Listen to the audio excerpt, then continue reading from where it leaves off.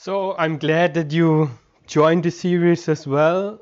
We will today set up the project and get getting hopefully the new mannequin working with ALS. There we will face some challenges which we hopefully can solve. So let's make our feet wet and directly dive into the topic. Create the project. There we select uh, the folder. Come on. So I have prepared a folder here on my X drive. It's called tutorials.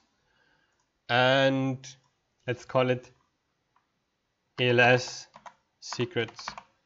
You can give any name you want.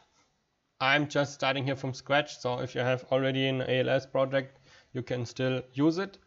But yeah I will create a new one so that you really see the process. So should be very quickly hopefully as I have already downloaded all of the stuff. And then we need to go into the folder and give me a second. Tutorials. No come on. Where's the folder? So here it is. It's called ALS secrets so start the project. Let's see if everything is working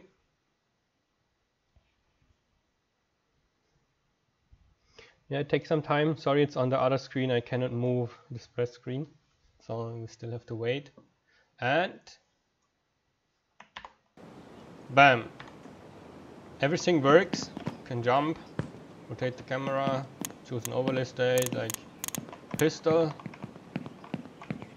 So yeah. It's pretty fine. Then I would say first part is over very quickly.